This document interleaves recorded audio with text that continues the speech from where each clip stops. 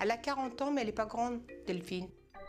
Delphine va devoir prendre son courage à deux mains pour avouer à sa mère son mal-être, chose qu'elle n'a jamais osé faire jusqu'à présent, avec l'espoir qu'elle change enfin de comportement vis-à-vis d'elle. Depuis que je suis revenue chez mes parents, je me sens en prison.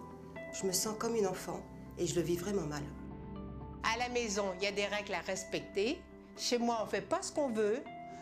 On dîne en famille.